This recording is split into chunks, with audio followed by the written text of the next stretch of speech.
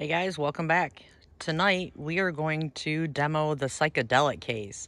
This is pack 2-2. We're going to shoot one, then the other, and then we're going to shoot them together.